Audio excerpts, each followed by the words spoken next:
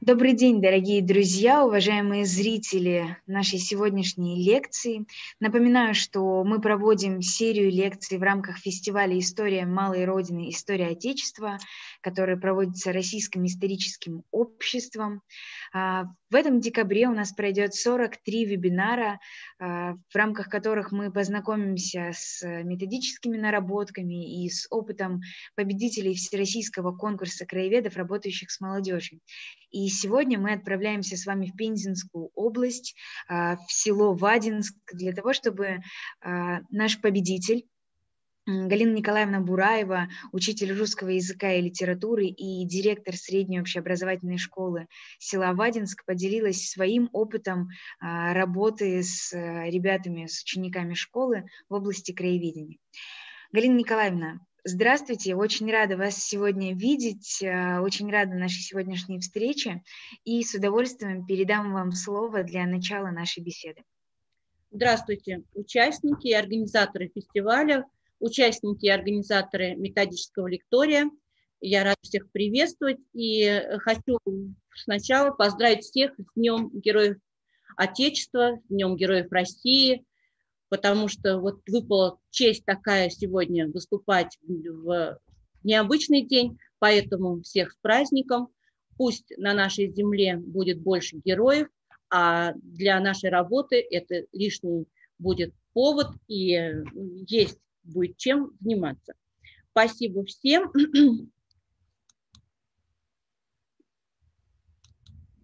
Я сейчас э, хочу предоставить вам свою лекцию «Школьный музей».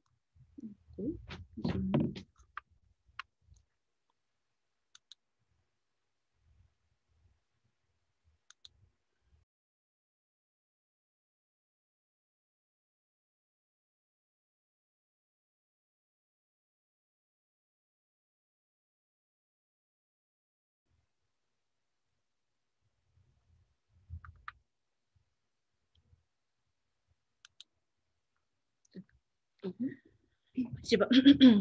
Я представляю лекцию «Школьный музей» как Центр музейно-педагогической, поисковой, краеведческой и патриотической работы в школе. Э, вся моя работа представлена из моего опыта работы. В нашей школе действительно прекрасный музей. Актуальность данной темы определяется современной социально-экономической образовательной реформой школы. Роль и значение школьных музеев возрастает – в связи с необходимостью реализации государственных программ по патриотическому воспитанию молодежи. Современный музей образовательного учреждения, с моей точки зрения, является уникальной точкой пересечения культуры и образования. Чем отличается школьный музей от других музеев? Дело в том, что государственные музеи создаются специалистами, и они создаются для какой-либо аудитории. Школьный же музей служит для тех, кто его создавал. Создатели школьного музея – это и дети, и педагоги, и родители являются его пользователями. Поэтому школьный музей более других включен в жизнь местного сообщества. С моей точки зрения, школьный музей имеет трехуровневое строение. Наш музей работает как музей-центр краеведческой поисковой работы, также музей активно интегрируется в учебно-воспитательный процесс, и, как я уже сказала, он очень тесно связан с местным сообществом. К функциям школьного музея у нас относятся те же, что и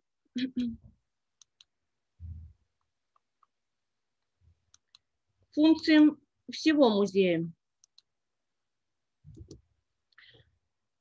Это комплектование музейного фонда, изучение, учет, хранение – но самая главная функция э, любого школьного музея – это использование экспонатов и выставок в целях образования э, всех учащихся, всех людей, кто работает в школе. В сознании детей школьный музей традиционно ассоциируется с прошлым. Здесь можно окунуться в его атмосферу, посмотреть, и поэтому школьный музей является маленьким исследовательским центром по сохранению, возрождению и развитию культурно-исторических традиций, и он участвует в диалоге поколений, развивает культурно-исторические традиции, а самое главное, участвует в формировании музейного фонда страны, что тоже очень немаловажно в последнее время. В нашей школе, как я уже сказала, создан музей боевой трудовой славы имени Александра Федоровича Старцева. Он активно функционирует и имеет очень славную историю. В этом году музей исполнил 45 лет. В нашем районном центре нет районного музея, краеведческого музея. Поэтому наш музей школьный выполняет огромную роль для всего района, для всего районного центра, для всего местного сообщества и даже для всего региона. Я сейчас об этом расскажу. Конечно, я директор школы, и многие спросят, в какой стати я рассказываю про музей. В течение всей лекции вы, наверное, поймете, что для меня музей – это не просто та часть, где находятся экспонаты или просто что есть у нас в школе музей. Для меня музей – это жизнь, я им живу, дышу, занимаюсь, и очень мне важно, как развивается наш школьный музей. История нашего музея такова, что в 1975 году по инициативе участника Великой Отечественной войны, заслуженного учителя РСФСР Старцева Александра Федоровича, был основан зал, зал боевой трудовой славы. Он состоял всего из одного, из одного, из одной комнаты, из одного зала, и был основан, потому что в школе работал краеведческий клуб, и клуб военной романтик. Дети выезжали на места боев, собирали экспонаты, собралось достаточно много экспонатов и решили оформить комнату. Сейчас, спустя 45 лет, площадь нашего музея составляет 200 квадратных метров. Это четыре большие классные комнаты, если вот так описать. В, в основном фонде содержится 2069 экспонатов, и в вспомогательном фонде содержится 3130 предметов. У нас очень много ценных экспонатов, я постараюсь тоже сказать, потому что у меня очень хорошая возможность прорекламировать, показать всей стране, какой у нас замечательный музей. Сейчас в музее четыре зала. Это краеведческий, биографический зал становления советской власти, зал боевой и трудовой славы.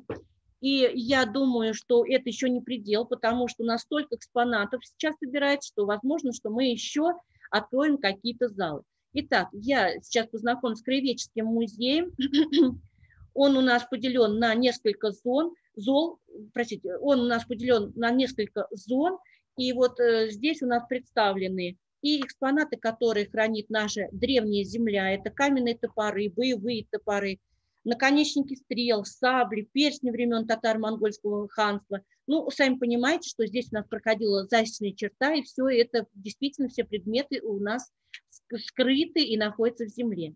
Также в этом зале нам расскажут об участии местных крестьян в крестьянских войнах 17-18 веков и обратят внимание на витрину, в которой хранится копия благодарственного письма императрицы Екатерины II жителям города Керенска, именно так назывался наш Вадинск раньше, э, которые в город разбойников и врагов не пустили.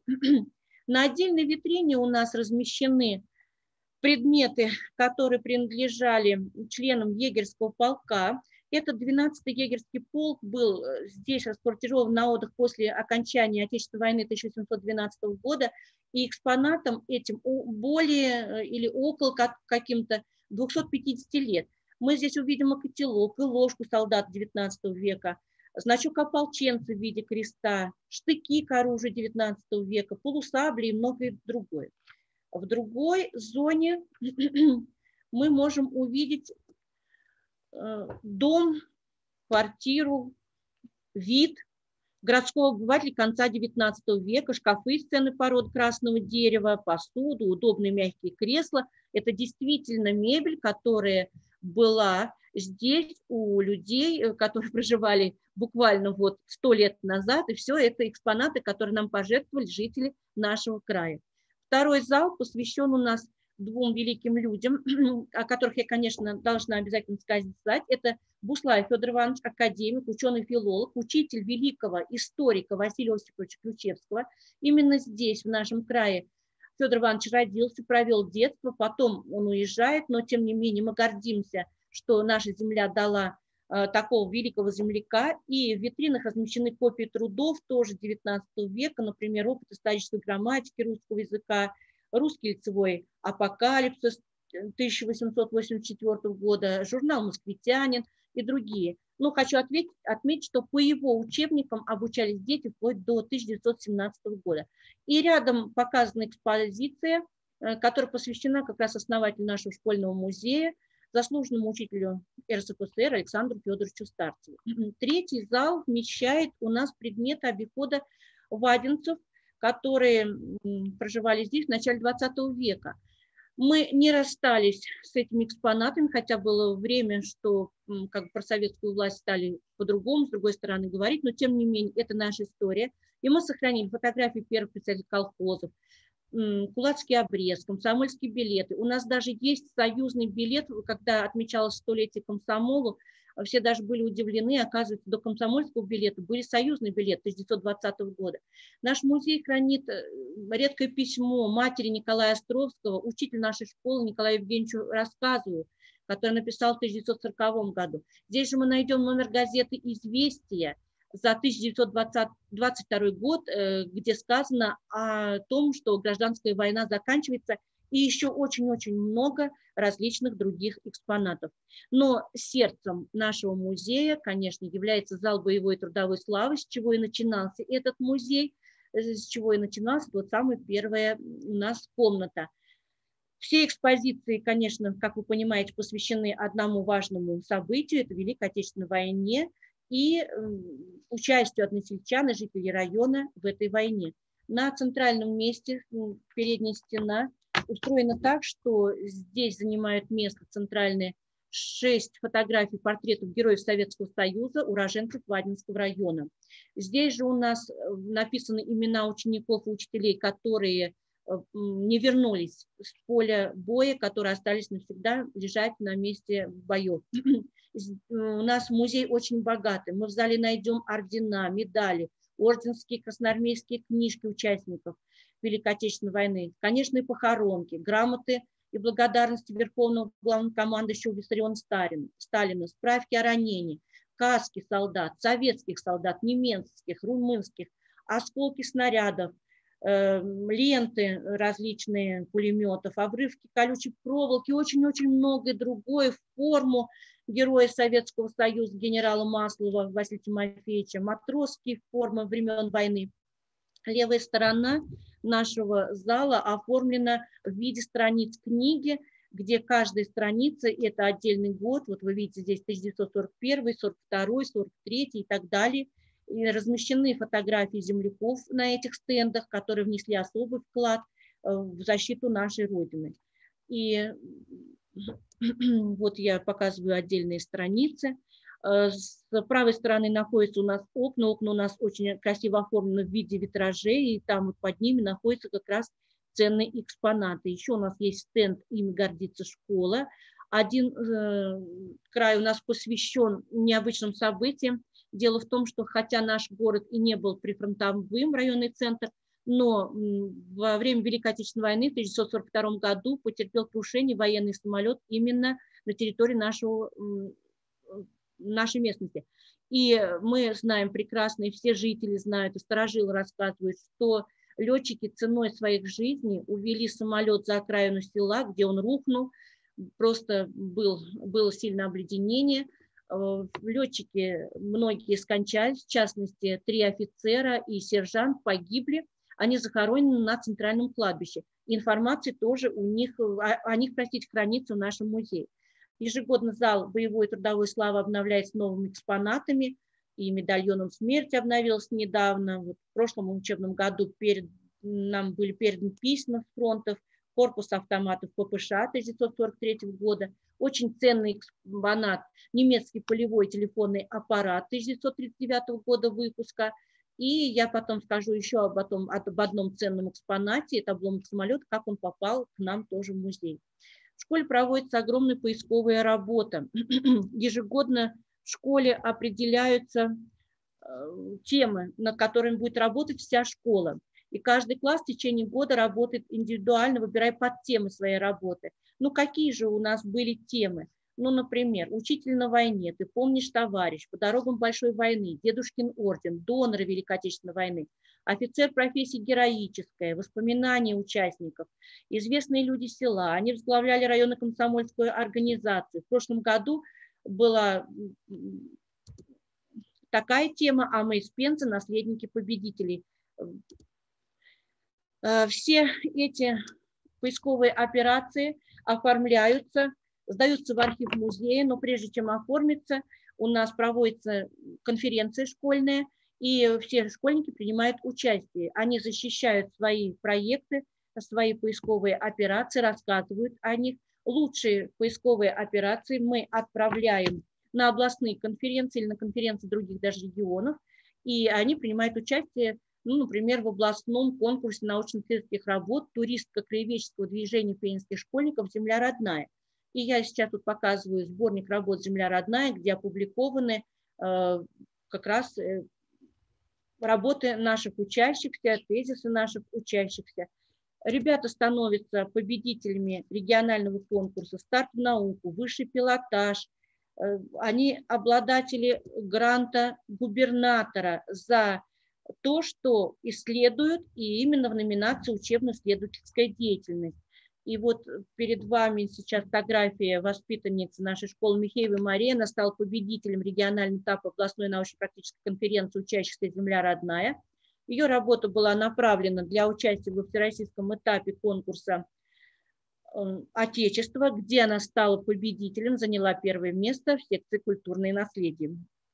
В 2020 году мы собрали очень много материала о родных и близких, которые э, в годы Великой Отечественной войны трудились, были на фронте, и издали книгу. Книгу, книга называется «Мои родные в годы Великой Отечественной войны».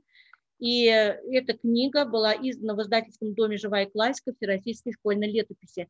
Э, многие семьи приобретали с удовольствием эту книгу, потому что это запечатленные данные о их семье, об их родственниках, об их родственниках. И вот сейчас я покажу страницы книги. Все это с удовольствием э, дети разыскивали вместе с своими родителями и с учителями оформляли вот в такой красивый вид. Э, наш музей очень богат на традиции, и в нашем музее проходят различные мероприятия, внеклассные уроки, и мы решаем очень важную задачу, потому что мы создаем банк методических разработок уроков, внеклассных мероприятий, сценарий, чтобы использовали все члены педагогического э, нашего коллектива школы. Различные мероприятия разработаны, такие как снятие блокад Ленинграда, Курская битва, Сталинградская битва, битва за Москву, вывод войск с Афганистана и другие. В нашей школе дети проводят в музее, я не знаю, наверное, начинается их жизнь в музее, и они все время растут, и растут их знания о родине, о близких, о том, как наш край был представлен раньше и что он имеет за плечами какое прошлое. Ну, например, только дети приходят первый раз, первый класс, 1 сентября, после торжественной линейки, дети посещают вместе с классным руководителем музей, где они с удовольствием смотрят на экспонаты, которые представлены, и рассказываем уже здесь, э, и даже показываем, потому что порой экспонаты предоставлены родителями, и некоторые дети с удовольствием находят экспонаты, которые предоставили их родители, дети уже увлечены спустя какое-то время, месяц, мы посвящаем учеников первоклашек, первоклассники. Именно торжественной обстановке снова приходят, родители э, наблюдают за этим, э, хлеб, соль, свою семью принимаем, им вручаем. И таким образом жизнь у них проходит э, вместе с воспитательным процессом. Когда заканчивают дети четвертый класс, мы их принимаем в детскую организацию «Романтик». Об этом тоже стоит сказать.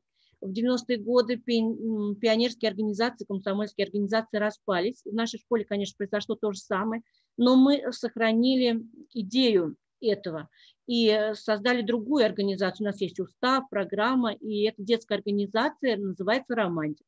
С четвертого класса мы принимаем детей в эту организацию, и они уже работают в этой организации, проводят сборы, сами учатся, об этом чуть я попозже скажу конечно, когда дети наши получают паспорта, то мы стараемся, чтобы паспорт гражданина России был тоже вручен в торжественной обстановке, и это стараемся делать в музее.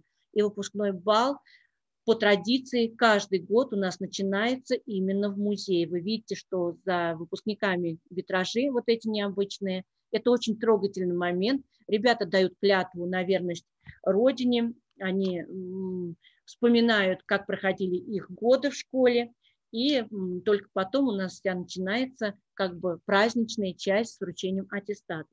Дважды год в нашем музее проходят большие районные мероприятия. Это проводы призывников всего района в ряды вооруженных сил.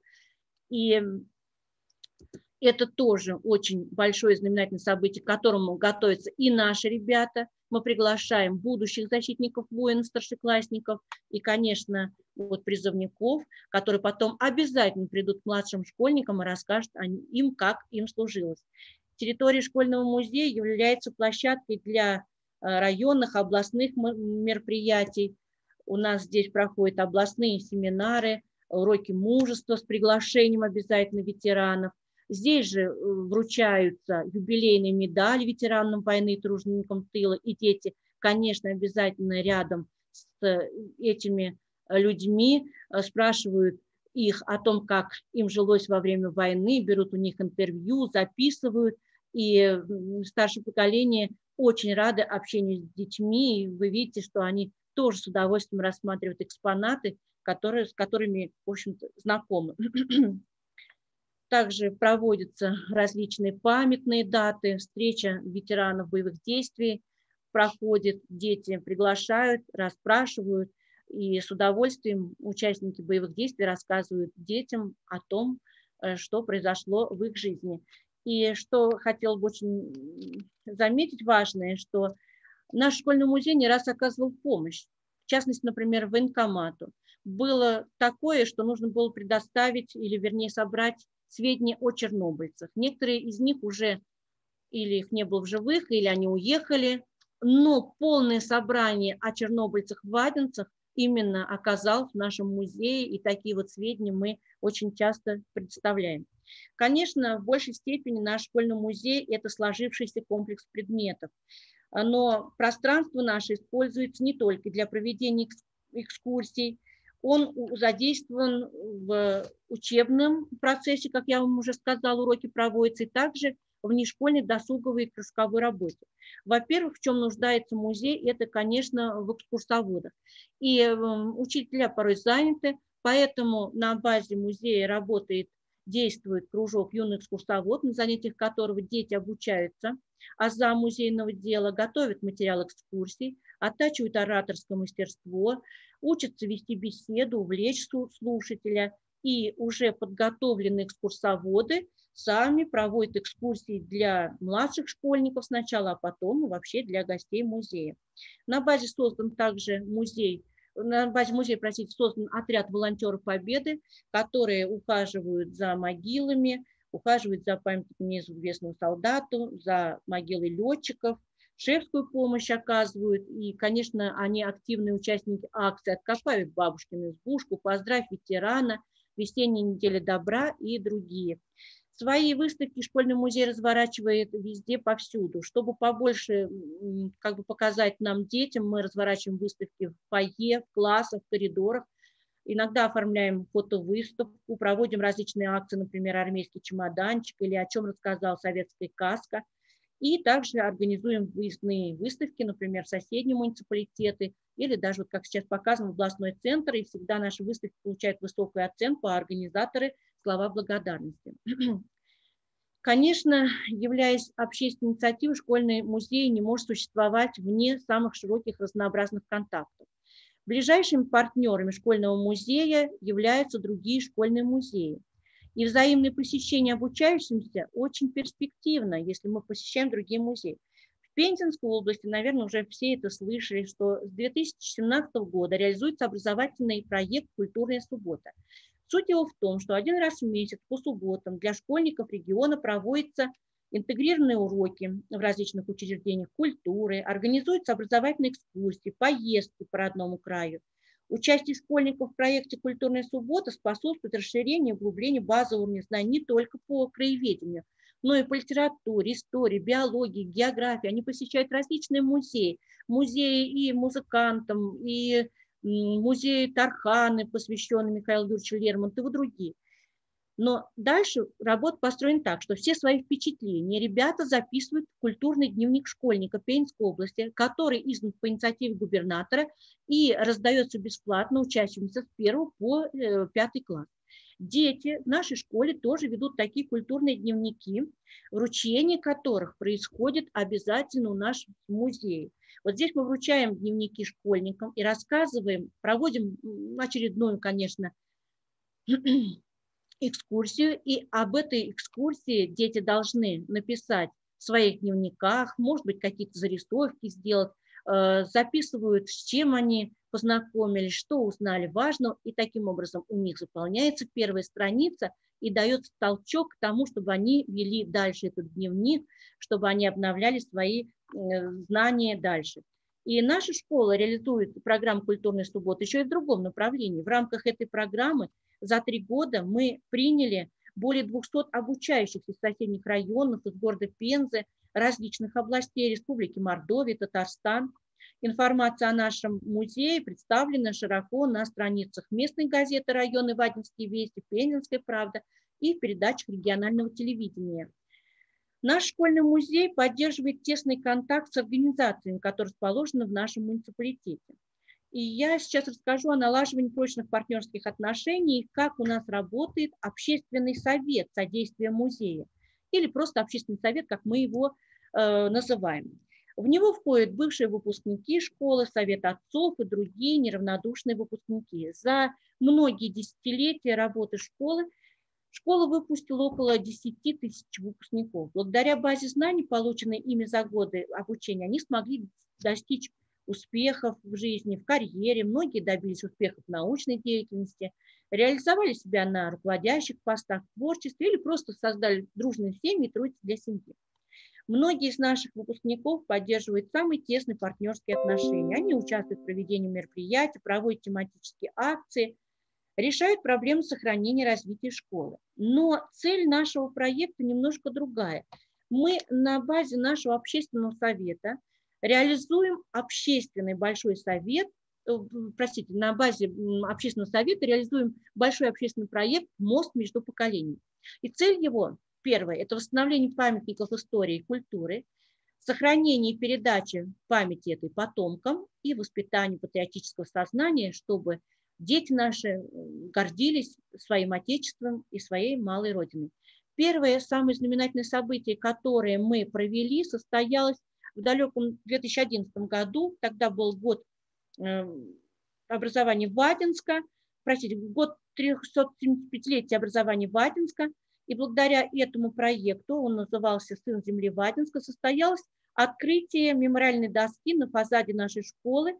И теперь, когда жители приходят в нашу школу, все могут прочитать о том, кто основал наш музей, и как раз Александру Федоровичу, почетному гражданину нашего Вадинского района, посвящена эта доска. Это стало важным событием, которое вписало в славную летопись нашей школы и, конечно, всего Вадинского района. В народе говорят, лиха беда начала, и каждый выпускник нашей школы неповторим.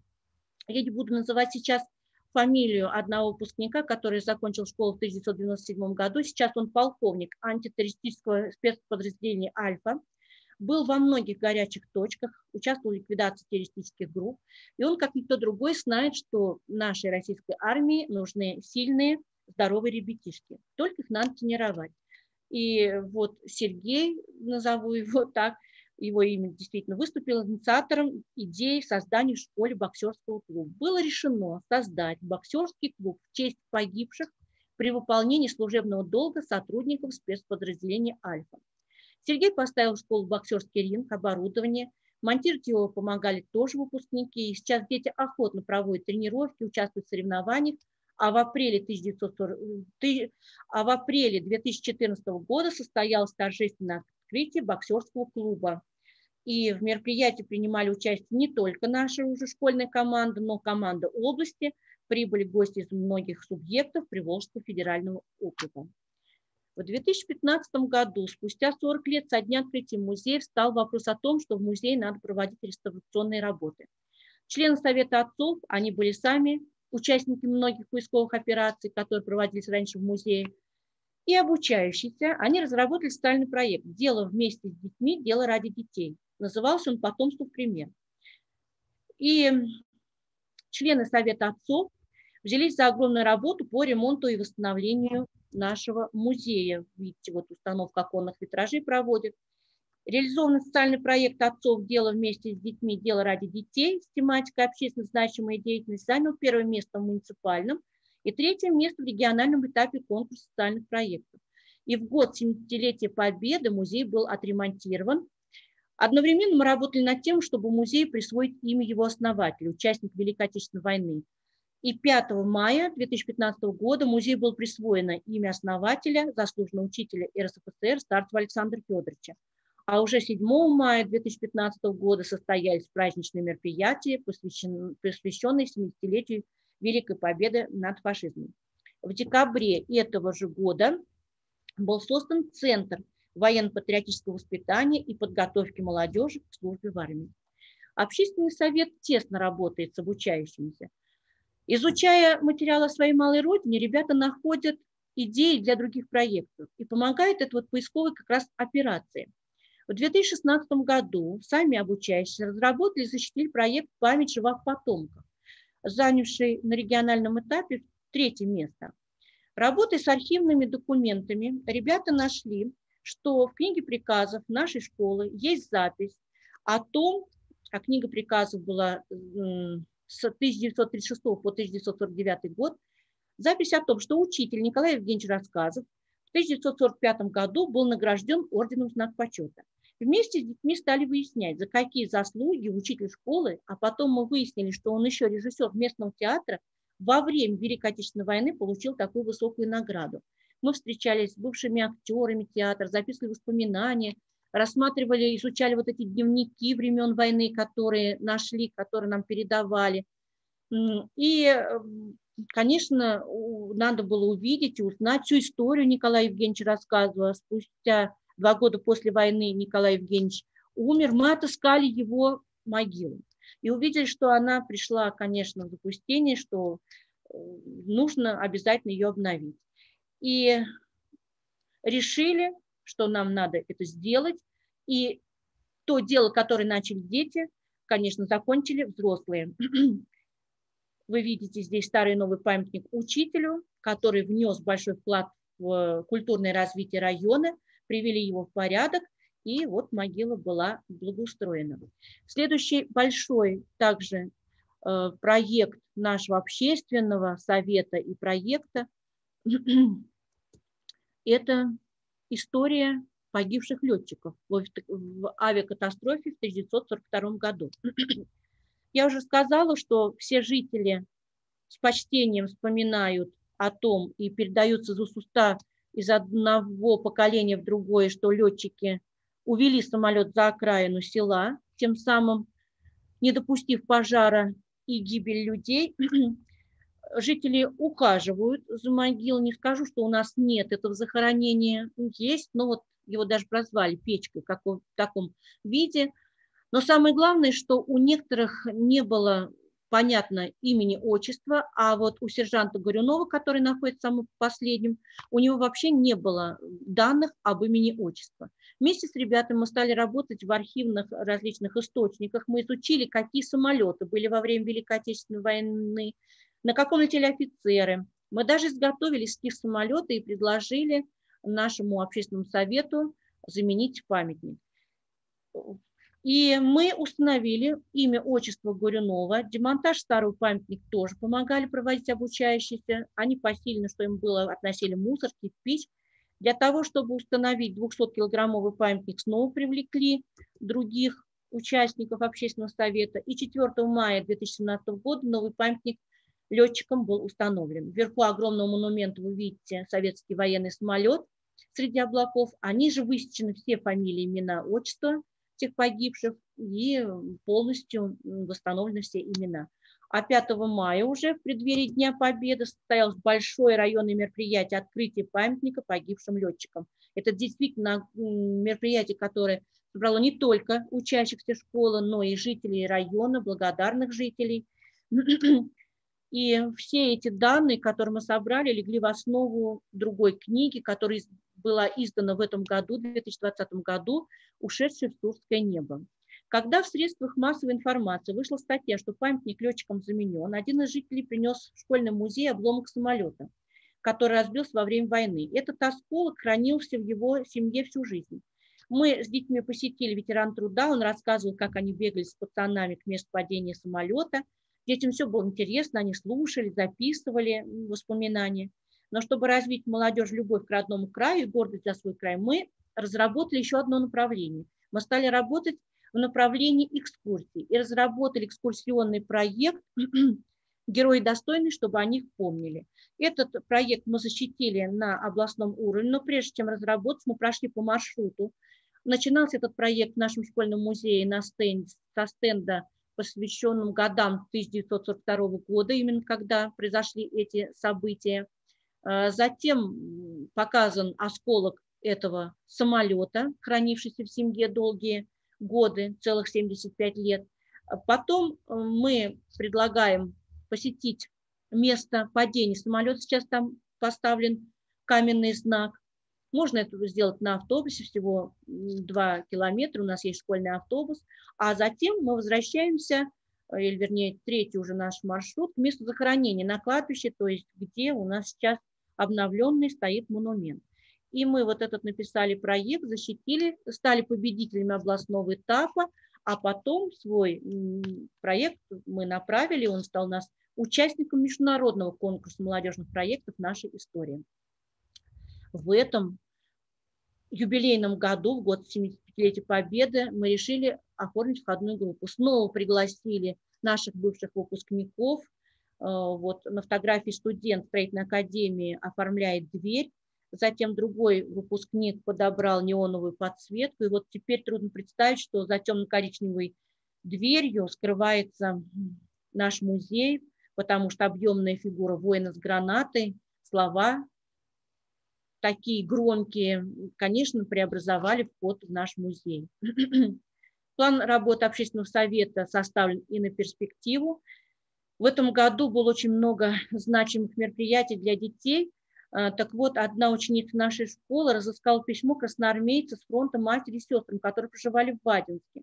Она выяснила, где жила семья, и написала ему письмо, письмо воину. Это сочинение стало победителем на областном уровне.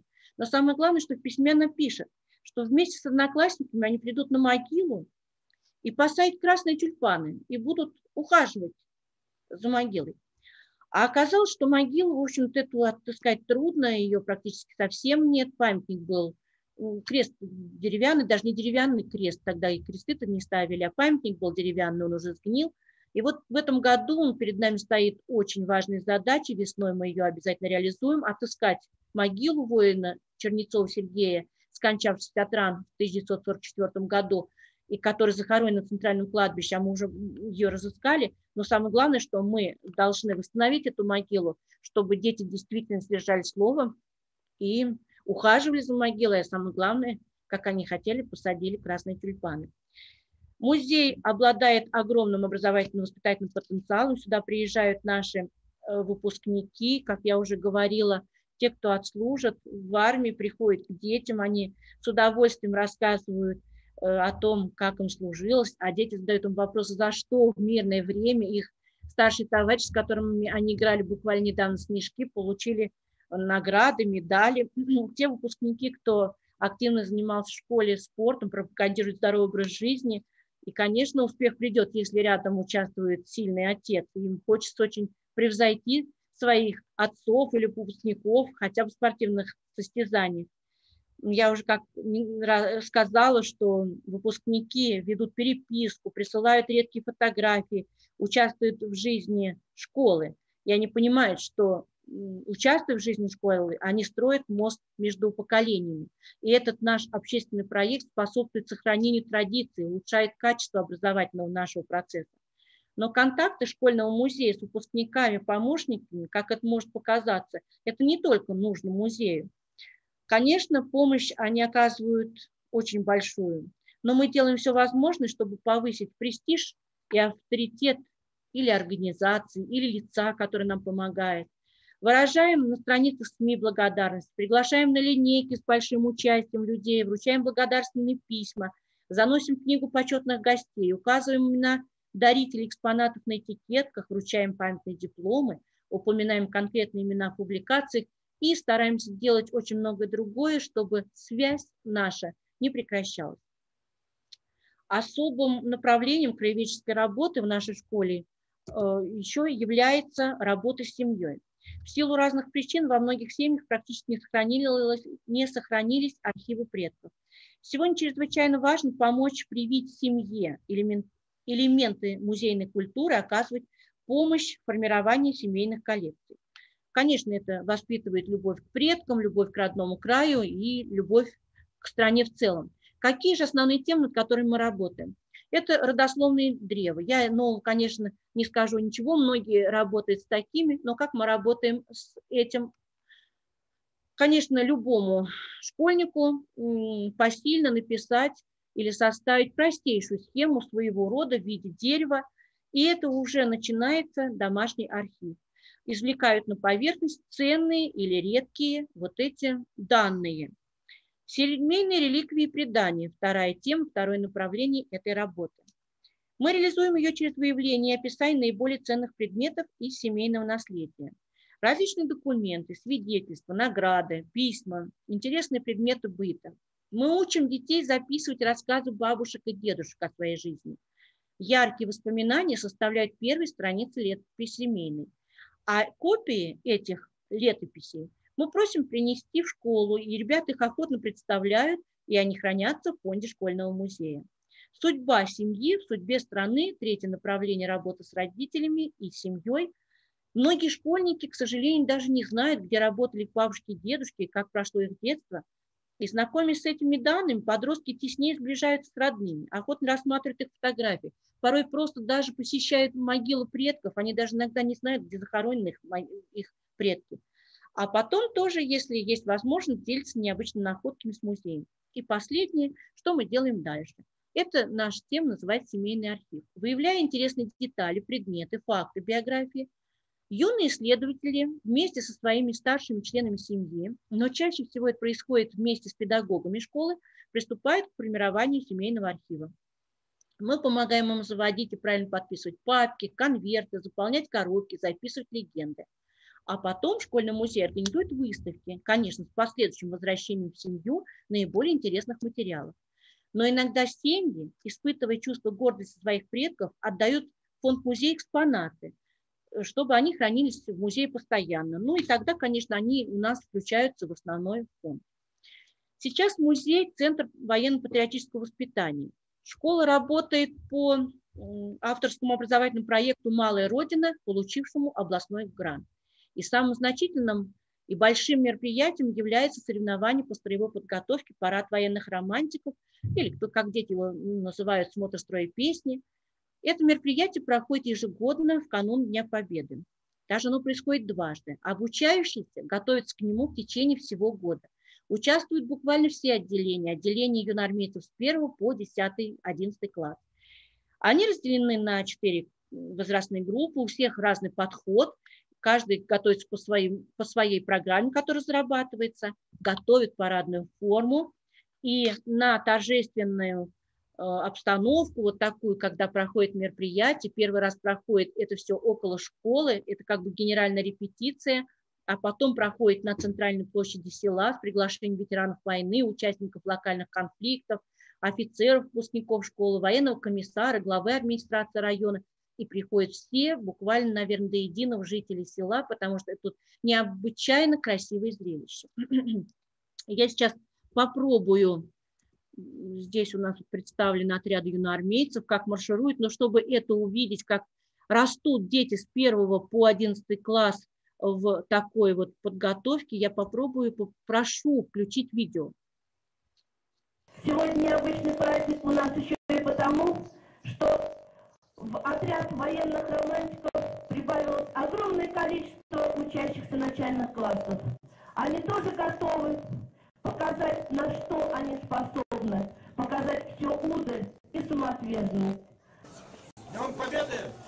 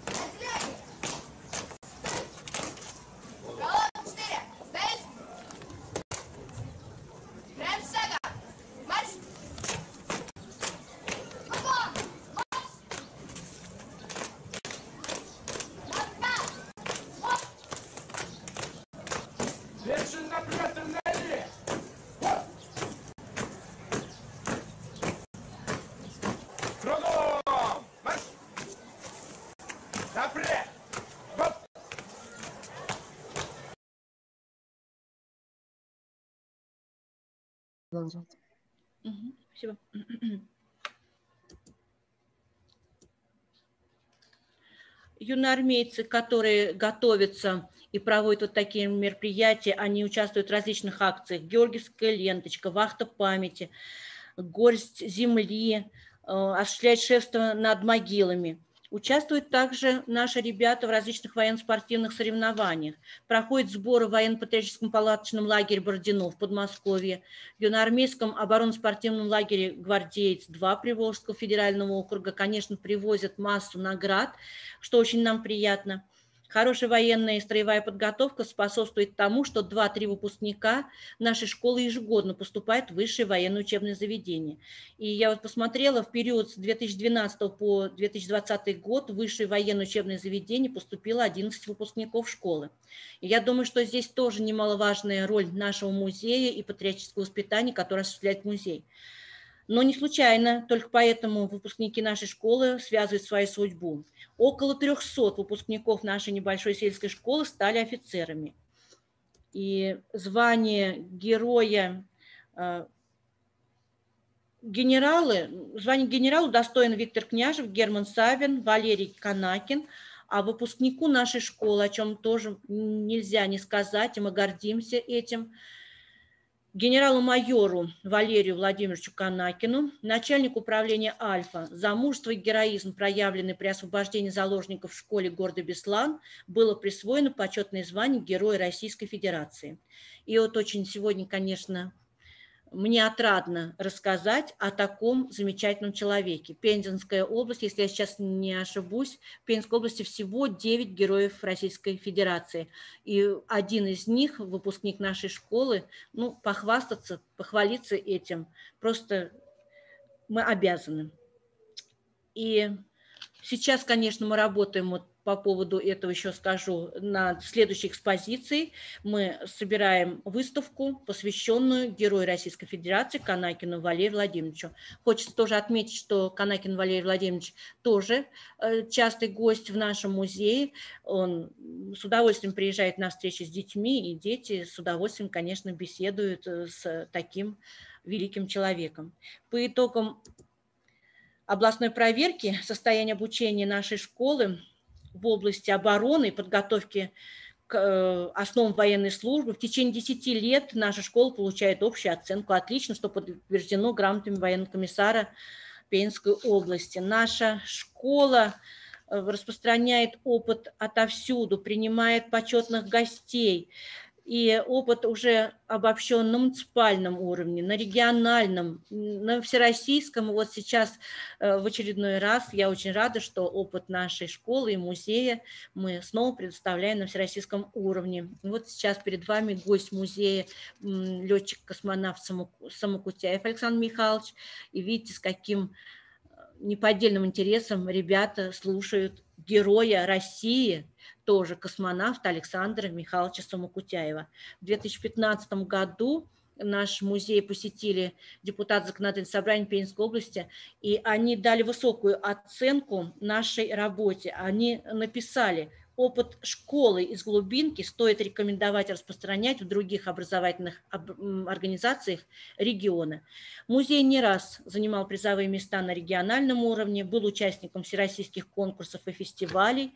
И вот э, в 2020 году снова школьный музей победитель регионального конкурса Фестиваль юных патриотов «Равнение на победу», посвященному 75-летию Победы в Великой Отечественной войне 1941-1945 годов.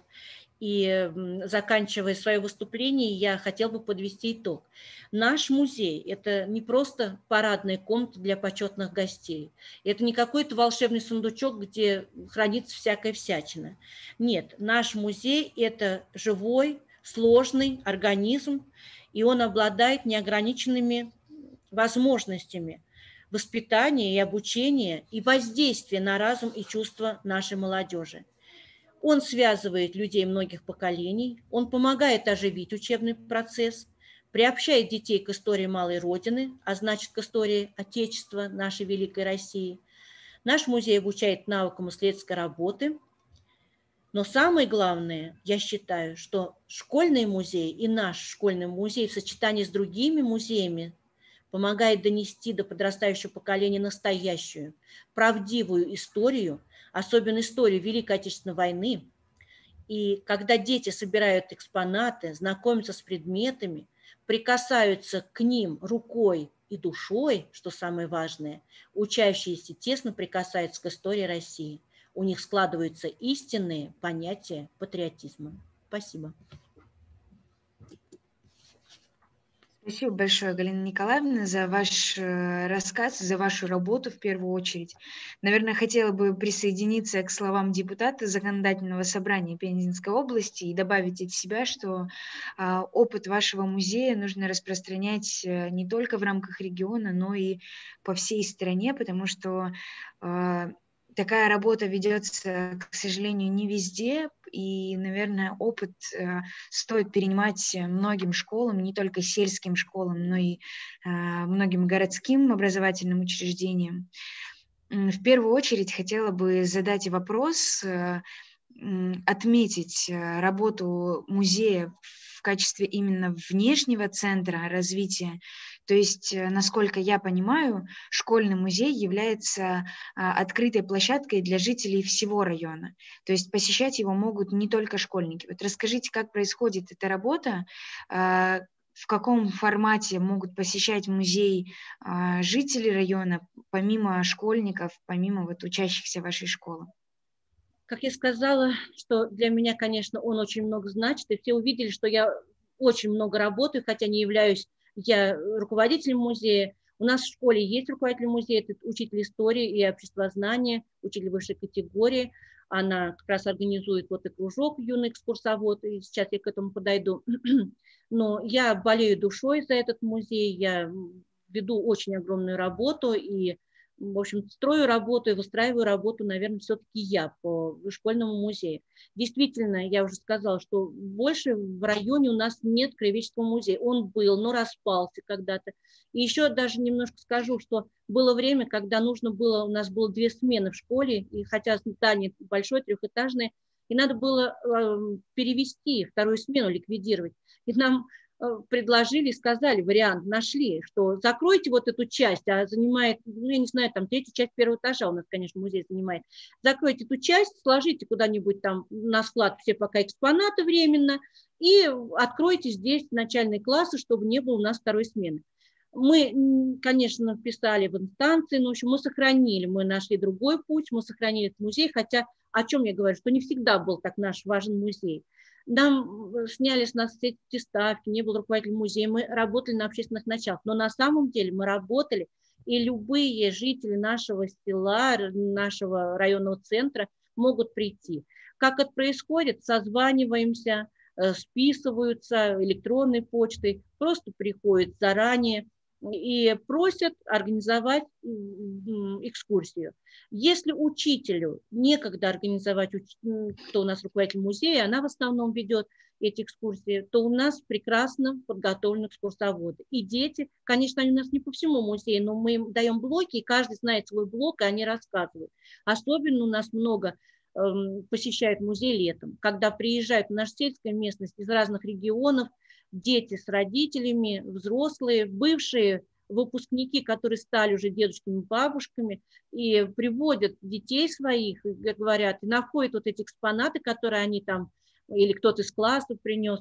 И поэтому вот престиж музея, он просто вот расширяется, и география музея расширяется. Поэтому наш музей работает всегда. Все школы соседние, конечно, посетили посетили наш музей. Соседние – вот те, которые расположены, которые есть в нашем районе. И я уже сказала, что и близлежащие районы, они тоже приезжают, созваниваемся. Мы не только музей представляем, у нас в школе организован горячее питание – детишек этих покормим еще, они посетят нашу школу, пройдут по этажам. Ну, в общем, расскажут, что у нас хорошо, что не так, дети, они такие, народ, они не скроют, а у нас есть над чем подумать и исправить какие-то элементы, что их не устроило. Вот так мы работаем. Да, то есть еще и развиваетесь благодаря таким э, встречам, да. То, тоже, да, прекрасно. Взаимная выгода. Да. А, расскажите, пожалуйста, вот э, все мы понимаем, что в работе, которая относится именно к краеведению, а, очень важна роль не только наставников, не только школы, но и родителей, как носителей знаний.